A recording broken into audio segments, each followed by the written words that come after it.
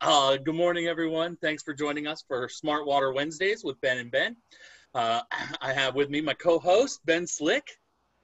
I'm not. I, he's the good-looking. then you were in a lot of trouble this morning. We also have uh, our topic of the day is a day in the life of a water manager, and we have a great special guest with us, Andrew Chase from Monarch. Uh, Want to introduce yourself for the crowd, Andrew? Uh, Andrew Chase. I'm a my current title is a resource management consultant for Monarch Environmental in lovely Orange County, California.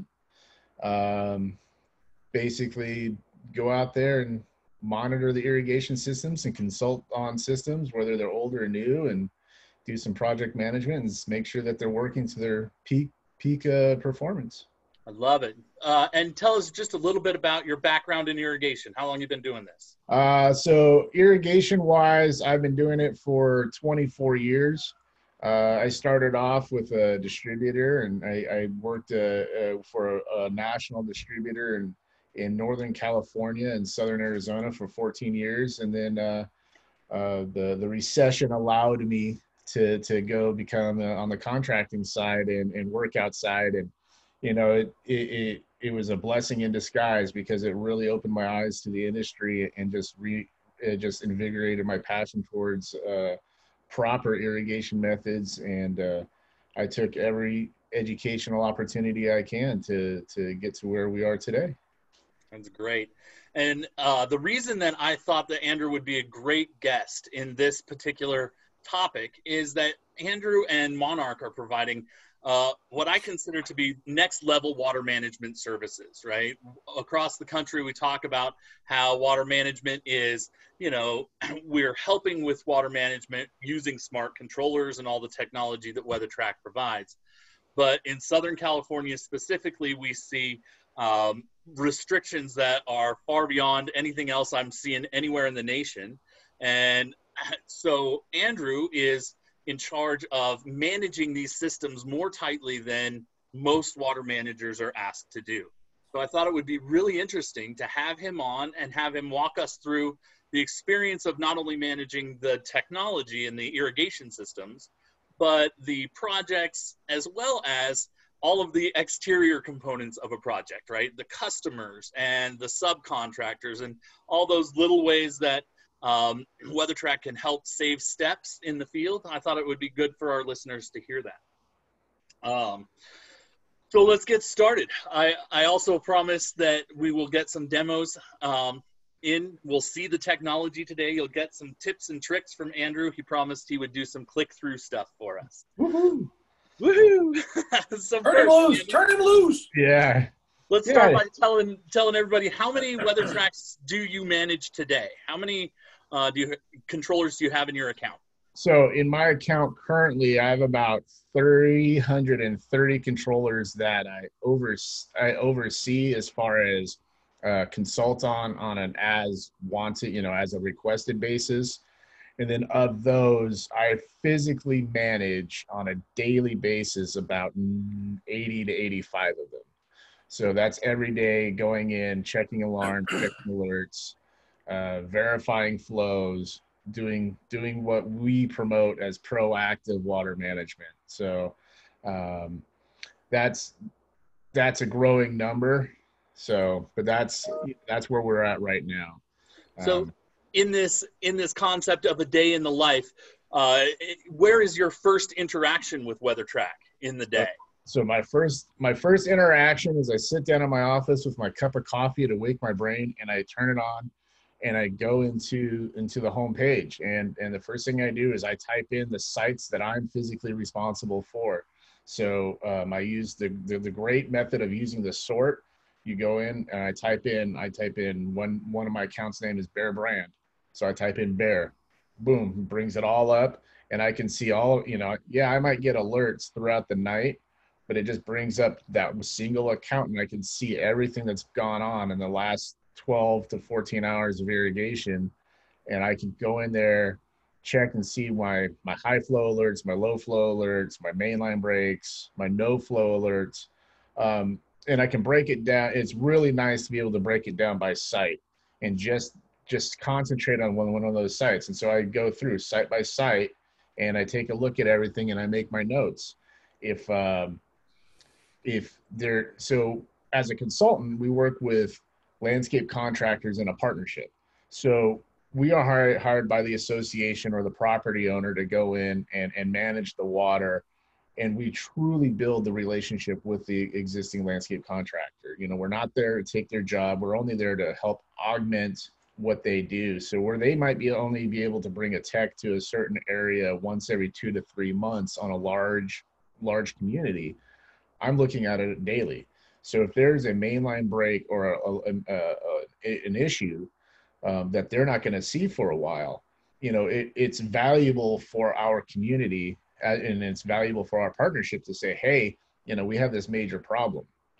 Um, for example, last week or no, two weeks ago, I had an issue where I had a community and a no flow alert came up, and I'm like, okay, you know, I'll check it out. Almost every every single station that came up that day was on there, and it's like, okay, well, who shut off the water? That's the first thing you think of is who shut off the water. There's no way there's a no flow alert going on for shutting off the water. So, you know, I so I send I send the email that came to my email. I forward that to the account manager and I said, "Hey, I'm going to be going there today. This is a major issue because all of these went on uh, alerted. So I'm going to show up today and take a peek and see what's going on if you want to join me." And they come back, "Well, we're busy. Just let us know." I'm like, "Okay, great." And it turns out that the common wire was disconnected from the master valve. Oops. Now, how does that happen? You know, someone, you know, so but but without having a flow sensor on there, and you know, I'm like, okay, well, why didn't I get get a master valve alert? And then, so there was there was some tricky stuff going on in there. Somebody played with something where they were able to to bypass the alert, but it's still with the flow sensor, we were able to see that nothing turned on for the day. And so we got it worked out. And I called them up and I said, Hey, if you can bring your tech over here to go through the stations, make sure everything works right because we have someone playing with the system. And, and this isn't the first time, you know, before it was just individual stations. Well, this time it was the master valve that they kind of played with. So, you know, it's like, Hey, but that's the, that's what we do. You know, my, my beginning of the day is just going through all the alerts to, to, to start the, the detective process of what's going on yeah. So when we train on that, the the idea is the we call that the alerts and operations dashboard, right? And the idea is that we give you those tools right in front of your face to eliminate the noise and highlight the potential issues that need to to be managed. Right. Um, what percent then, of the controllers that you manage have flow sensing? Uh, the ones that I personally manage, um, I think I have about 60 to 70 percent with flow sensors on them, which is which is a pretty good number. Uh, we really advocate for flow sensing on every single controller, especially if you have something that's able to use that technology. Um, you know, that and that's part of our package is, is you know a lot of the times we come on a site and they've turned the flow sensors off because they they they you know all of a sudden they're going out of whack. Yeah. That flow sensor is such a valuable tool um, with with controllers. We we re- we recently had a site retrofit from uh, uh, standalone controllers to to WeatherTRAK controllers, both LC pluses and and Pro threes, and they were trying to figure out why they kept getting mainline breaks. Yeah. Well, with with adding the flow and finally getting everything set up, it took it, it was a process, but we finally got it all set up and I run my learn flow. And there's my first cue. The system that was designed to run at 55 gallons a minute has yeah. slope zones at the top of the slope with a pump running 70, 80, 90 gallons a minute. And it's like, oh my goodness, what are you guys doing up here? Right. So we got a question for you on this topic. Um, uh, audience member would like to know, do you prefer normally open or normally closed master valve architecture and why? So my my my preference, and it, it comes back to the to the type of system is there. I do prefer normally open over normally closed. Um, I do uh, appreciate having uh, quick coupler access, um, having access to the water at all times. Uh, but generally on an older system, something that's been installed 20 or more year, uh, years, if it's a retrofit situation, I will recommend a normally closed system. And then to use, um, you know, with the app, you can you can open up the the master valve uh, when when necessary. Just because sometimes on a new system, it's easy to design everything right and, and to have it, you know, to ask for it to be installed right and, and hopefully oversee that it goes in right. On an older system, I've seen so many systems where the glue joints aren't glued right. Uh, I mean, I, I have an example, you know, here's my example of a glue joint that failed, you know, hmm. four inch main line where it was all glued together and the runs were too long and they just hammer every time. And on a system like that, if I left it normally open all the time, I'm still going to have, you know, I might have little eight, nine gallon minute leaks that aren't going to get caught with, uh, with, uh, you know, the extended leak protection on, especially on a four inch main. So that's where I, I, I say, okay, look, we're going to do normally closed. Mm-hmm. But if it's a new system and we can we can we can uh, oversee the installation, I, I prefer normally open. Right. And on that same subject, do you have a type of flow sensor that you prefer to sell? Um, I prefer the ultrasonic.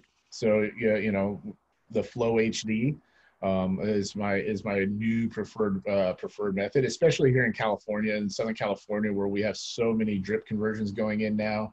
So on a on a two inch or three inch main, being able to see those really really low flows, or even where they're retrofitting in a rotary nozzle, so they're going from spray zones that, that were 25 gallons a minute down to six or seven. Um, having the ability to see be able to see that really low flow and that really high flow at the same time um, it, it, it, truly does make a difference. Plus, with our reclaimed water, um, it doesn't gum up the impeller like like uh, right. like it used to. You know, you just clean off the clean off the sensor and, and move on to the worst case scenario. So a couple, couple more questions for you on this topic. One is, um, do you prefer plastic or iron on the Flow HD? Uh, I prefer plastic. Okay. And then another question came in. What what's the biggest difference uh, between being a contractor now and your new role as a consultant with Monarch? My my my biggest difference um, is is now as a consultant, I can be a true advocate for everyone. Um, as a contractor, I felt like I had to play kind of a politics game where um, I could I could come in and I could see what what another contractor was doing and think it was great, and I, I, you know, I'd say, yeah, they're doing a really good job, but I had to, I felt like I always had to kind of bite my tongue one way or another. As as a consultant now, I can come in and pretty much lay it out there one way or another without fear of repercussion because I've been hired in as the subject matter expert. I'm the person that's that's being asked what's truly going on, and I and I feel it's less political and more beneficial for the end user and for the contractor. Um, I'm more than willing to to walk a site with everybody to explain what I see and educate. And a lot of times, when if you're working for a, a contractor and you, you're working alongside someone else, there's trade secrets and and and uh, the, the, like I said, the whole political game that you know you don't want to help them out too much. You know, just that you, you might help them out just enough to let them get by, but you don't want them to to to be the same or above you because you're going after that job and you're going after that work. Right. So, in addition, I would imagine that um, as a contractor, I always felt like the customer was seeing me as somebody trying to sell them something, right? right. Where uh, as a great water manager in today's day and age, we've got all these great technology solutions. And if you don't know what you're talking about, it can sound like snake oil. Exactly as a consultant, it, you can step in and help them advance the ball and and really provide that sort of transparency for the customer and not uh, let them feel safe and secure that they're making a good investment. Yeah and that that exactly you know last night i when i was uh, on a call to to do a, a pro 2 to pro 3 upgrade i came in as as an independent expert and i said look this you guys really want to do the upgrade and you know you don't want to let this fall by the wayside and just have it as a standalone controller. And the board member actually recognized yes you're not in somebody's back pocket you're not in it for yourself you're just telling us how it is and it's true. So i can allow my passion to come through without making it seem like I am going for that extra dollar, uh, you know, and padding the profits of a company. I'm coming in and telling you how, how I truly feel about something and it's real and genuine and you can take my word for it that it's that's you know that's what i see So Ben, we're coming up on the midway point here. Should we give control to our guest and let him show us some stuff? Uh, it was exactly what I was thinking. Andrew, are you comfortable taking over and showing us some of the demos that you had in mind? uh sure yeah i can i can do that so Do you have the Uh, share screen button? yeah let's see here desktop chrome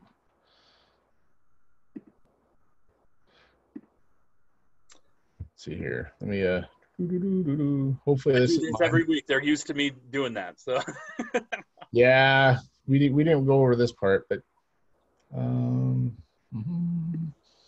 my computer is uh. on the bottom of the screen, you have an icon that says share screen. Yeah, my my um, it's not doing it yet. So Ben, why don't you take You control? want me to do it? Yep. Yeah, why don't you do it? Andrew Mine, mine is You got it. No my my security settings are not allowing me to do it. Okay. Well, let's go. So I I apologize. don't worry, we're fine. Um, so we'll log in here to weathertrak.net. Uh, again, your own username and password gains access to your account, which has all of the controllers that you've been authorized to view and to manage. We see first here the alerts and operations dashboard that we were talking about. Anything Yeah. that you want to highlight here?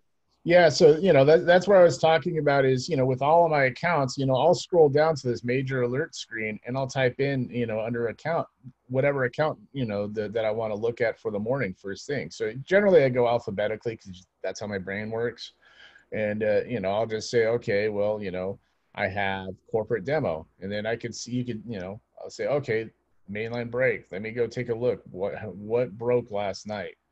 um, what's you know what station number does it think it was on or what time was it at um, so i'll go through i'll go through this uh, name by name and i'll make my notes and i'll fire off my emails to account managers for you know if it's something minor like a uh, valve no connect that showed up in the middle of the night you know i'll just send that to an account manager mainline break um, something like I was talking about before, where it was a no flow for an entire run for the night with 20 stations. That's where I'll make a note of where it was and what controller it was, and, and investigate and, and, and schedule that to investigate it myself that day. Uh, because to me, that's something pretty major. And for me to try to just email an account manager that, I don't think they're going to get it. So I want to be as educated on the pro- problem as, as possible. And Absolutely. So you Ben, know. click on the mainline break. Yep. Just one sec. Uh, one thing that I notice about advanced users versus kind of amateur or less experienced users is the use of these um, sorting features, the use of the quick, the quick access to that information, uh, either the the column sorts or the filters that help you find the right information exactly or as quickly as possible and then the one click export tool which makes it easy to communicate this stuff out so if i wanted to export this to an excel or pdf that's how i would do that Yeah. Um, and then another great feature with with alerts, you know, and and it kind of goes back to uh, to clearing. So sometimes you get those low flow alerts, and you go, okay, those are minor annoyances. But uh, you know, if you if you click on your your controller to to to view your leak, and you, you can look at you can look at a single controller, but then you can look at multiple controllers. So here, you know, at the top it says select controllers, one controller selected if you take that drop down menu and now you can choose all the controllers you want to look at you know if i want to look at a site and i want to say okay i want to see all these controllers in one group and i want to clear all my low flow alerts for the day because they're just in, you know I'll, I'll i'll take a look at them later on. Maybe maybe they did some nozzling adjustments. Maybe there's i need to relearn flow. Um, i'll go through there and i'll systematically click on all of the all of the low flow, minor high flow, anything like that, I'll click through those and clear them all out at once instead of just doing one controller at a time and waiting. Being having the ability to clear all those alerts all at once is really really awesome. So what we're talking about here is going through and just selecting the valve and flow alerts that you can clear, select those, and then come up and push this clear flow and electrical alerts button, and that will clear out any selected controller or Yeah. selected alert. and and especially with no connects if if if, if there's a no connect that comes on uh or or uh short if i want to verify that that short is truly there i'll i'll i'll, I'll try to make it happen again and then if it does happen again i know that it's a valid it's a valid alert maybe it's not just something that you know a wet valve box did i mean it's going to be something that happens sporadically but if So it's do you have a trick to run the valve test? Do you have a trick to fig- tell us your trick? uh, the the valve test Yeah, to get the controller to run the valve test remotely. um Do you want to know my trick? what's your trick If I if you go in and change the master valve setting and save it, yeah whenever you change that master valve setting, as soon as the controller gets the change, it Yeah. will run the valve tests. Oh, So- okay. I've always just done added a station in the in the Mac stations um, Ah, uh, another column. good trick. Same exact protocol. So and Why then it, why it'll- don't you it'll- show examples of that, Ben? Click through to, Okay. So if I go, that would live here on the program page. Mike, go over. Oh, let's not use an OptiFlow controller. Let's use the MeadowView HOA that I always use.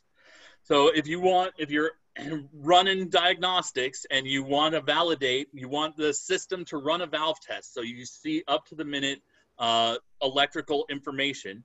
You just come on here and change your normally open master valve to normally closed and save that and then come back and change it back and save it as normally closed again. But making that change will automatically prompt the controller to um, run the valve test. So I come in here, I just simply change that and hit save and send, and that will, as soon as the controller gets that that update, it'll run the valve or it'll run the valve test to validate the condition of every valve. Yeah, like I said, I've used that max active stations. I'll I'll you know Yep. like here you're maxed out at 48, so I'd go to 47, send and save, and then put it back at 48, Yep. and, and do the protocol. same thing.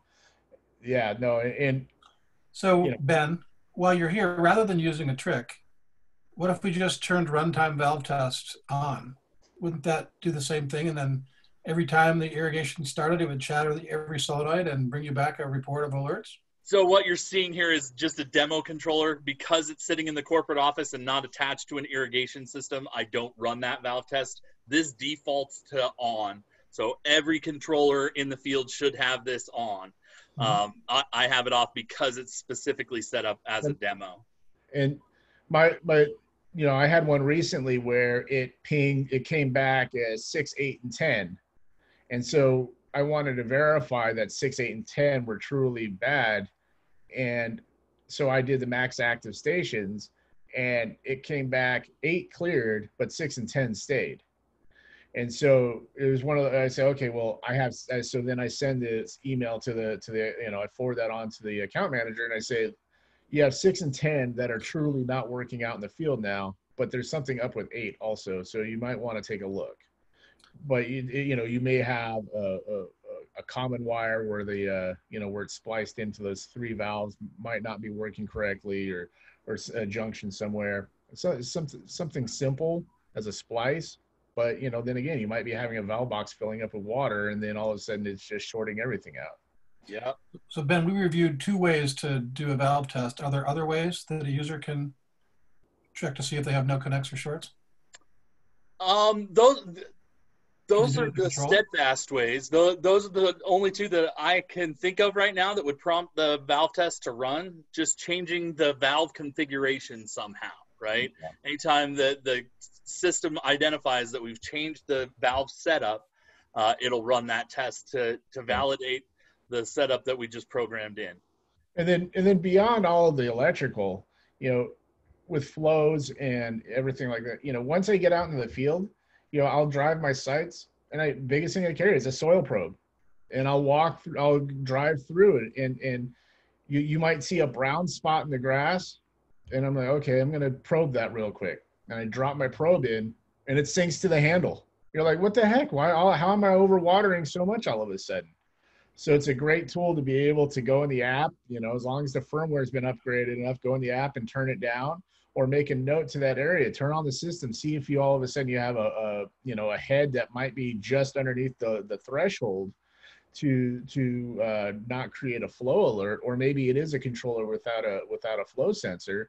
You know, maybe you have a broken head in that area. I mean, I have a site where it it was. Um, uh, it's a full circle rotor that was stuck. So you see this big brown patch, and you see this big tall tall thatch of, of green you're like, okay, there's nothing here. You turn on the system with the remote, all of a sudden you see this rotor just stuck right in the middle. You know, I was like, okay, and this was, you know, after a heat wave, it kind of started browning out. So it's really important for me to drive the sites minimum once a week, if not twice a week, just just to catch that those items as fast as possible. And the soil probe to me is is is number one. Um, a lot of people program these controllers in auto mode or in user ET mode, like like Ron Popeil's Showtime rotisserie. You know, you set it and you forget it, and nobody really takes the time to understand that these are dynamic systems, especially with flow. Um, you know, you have port, you know, nozzles that wear out and they they grow bigger over time, or maybe maybe an irrigation tech only had number five nozzles for his rotor that day, and that's what he put in uh, doing nozzle adjustments and I, I go into these controllers all the time that that they haven't learned flow since 2015 and who knows what's going on there now. And and the it's an inch and a half main line with the with the with a setting at 100 gallons a minute. And so physically being proactive and walking these sites and managing these sites and visually spot checking systems is so important you know and and the WeatherTRAK app makes that easy uh, but at the same time, going in and being able to make adjustments to the controller on the fly is is such a such a beautiful thing, and that's one of the great items about the. You know, I use that advanced auto as much as I can. I probably have eighty percent or more of my stations in auto, and I make all my adjustments that way. Yes, there are going to be times to use user ET or user no ET for uh, new plantings or, or items such as that. And there are times when contractors going to ask me, "Hey, can I take control of this while we do some work here?" Absolutely. Just you know, it's that communication and that, like I said, that relationship before. Uh, but don't think I'm not going to drive by once or twice a week to make sure that it's, you know, doing doing what it's supposed to do. You know, you know, when all of a sudden I see a full circle rotor zone set as spray heads, it's gonna, you know, kind of go, um, no, you guys bumped it the wrong way. all right. So while I have you, I want you to to demonstrate some of these other great features that not all of our customers are using. Uh, uh, we talked yesterday about um, the mapping or the budget monitoring. Do you care which one you want to show off? Um, so, so the um, one of the one of the great tools I like to use also um, it goes into the uh, the, the meters and the asset manager. Um, I don't know if you have any with water meters programmed on site. Oh, sure. Asset manager. Me... One of the one of what in here in Southern California we touched on it in, in the beginning is that we have water budgets that we have to adhere to. Uh, we have our less restrictive locales, and we're not talking just talking tier one, tier two rates, we're talking tier three, tier four, but we get assigned a monthly water budget, not based on off of historical usage, but based off of actual weather taking taken from ET reporting sites. Um, we have one water district in particular that is weekly. It gives you a weekly water budget. So, so when I'm talking about na- nation leading water restrictions, this is exactly what I'm talking about. These type of mandated management restrictions that are done in real time and not based on hypothetical numbers but actual measured values is something that I only see in Southern California. Yeah, so uh, a lot of you know a lot of our companies that we work with, especially with the one that's weekly, they'll go out there and do weekly meter readings. They will physically go out there, pull the lids on Monday morning, and take a meter reading. Now, if we find that there's a meter that has all of a sudden jumped up, um, and, and we think that it's okay within the parameters of, of flow, we don't have any mainline breaks, but all of a sudden it's jumped up, we'll take a look at it um, and being able to go into the asset manager and seeing the water meter number right there in the screen and say, okay, well, that water meter is assigned to controller, you know, so there you go. So that, so that you have that water meter. Now you, you have that, usually you should have that water meter assigned to a controller and you click on that controller and you look and you download your 30 day history, you download a report, you look for anything unusual about that controller but at the same time, if we're if we're all of a sudden looking to go over budget, we can look at our highest using uh, stations. Maybe we have five turf zones that were bumped up 20% because they threw down some fertilizer or they you could sit there and adjust the controllers on the fly to make sure that we we stay within budget and the, having having that is one of the biggest tools that i love to use because it just allows me to quickly and and easily go to my controllers, find my controller that's on that meter, and say, okay, here we go. Let's let's take care of this right now. Uh, so I, I, I love that I love that feature, and I use it a lot more than probably most people do. Uh, I advocate people for putting it into their budget monitor. Um, I wish I did it more, but it's a it's a great tool to use for your budget monitor. It it helps tremendously with with seeing in real time what, what's going on, and and with our water budgets, you know, this year we had a crazy first four months of the year. You know, January and February were was you know dry, hot. You know, it's total out of totally out of character. And then March and April we had 400% of normal rainfall. I mean, it's literally like they flip flop and so a lot of people go back to that historical usage and say, hey, you know, you, you you're overwatering in January and February, but we had we we we we we did really awesome in March and April. I'm like, well, yeah, look at the weather. And so being able to have a budget and actually see what's going on with with the weather and and communicating that in in, in with our with our uh, landscape contractors and with our communities is is is important and, being able to track that with the budgets and with the weather that's that's that next level proactive approach that we talk about. And we because we, we want to water not only for saving water but we want to do it what's optimum for plant health and, and absolutely. and, and keeping the aesthetic value of the community to keep their property values high Totally. And, and, and, and make it a, for, right? a mutually beneficial relationship. So our contractor we work with looks good, the community looks good, we look good, and it's a win-win-win situation. Absolutely. And coffee, so, our time is oh, up. Yep. Uh, uh, do it, Andrew. We've got ten seconds for you to answer the weekly question. What does WeatherTRAK save you? What it saves me headaches.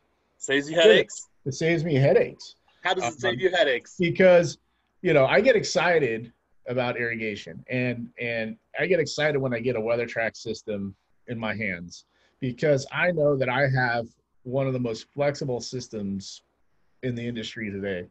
And so when I have a WeatherTRAK system, I know that instead of running a controller for 15 minutes a day, three days a week, I can make it flexible and I can program every single station to its exact needs. And uh, you know, I got one one in shade, one in sun. Okay, they're going to be watered exactly the same. Uh, or not not exactly the same, but they're going to be watered to their needs. So maybe one runs twice a week and one runs three times a week. It it it makes irrigating so much better because you're not dealing with going back and and, and adjusting and adjusting and adjusting and, and it just makes my life easier. And sounds like a headache saved to me. That's awesome. Uh, all right. Thank you so much, Andrew. We oh look at this. I didn't even show the opening slides. Uh, we are as usual, here to support you. Check out our resources. Uh, if you're in the field, call our customer support team. They can help you. If you're training, we've got online materials and training material. Uh, so check us out. And um, we are looking forward to next week where we will have a conversation about rain pause and rain share. Kind of what does weather, how does WeatherTRAK manage rain? um, and what can you expect out of your WeatherTRAK systems during rainfall. And we're going to have a great guest from Mid America Apartments. Um, Alex Klinker is the regional landscape director for Mid America Apartments and is a great WeatherTRAK user. So excited to have that going on next week. So please check us out. We are happy you're here this week. And uh, my name is Ben Coffey. Happy to have you here. Thank you for uh, tuning in, and we'll see you next week. Mr. Slick? Thank you, everybody. Appreciate you as always. And Andrew, special thanks to you for taking time this morning. Thanks. Thank you, Ben. Thank you, Ben. It's been great. Thanks, Andrew. Have a great day. You too. See you, everybody.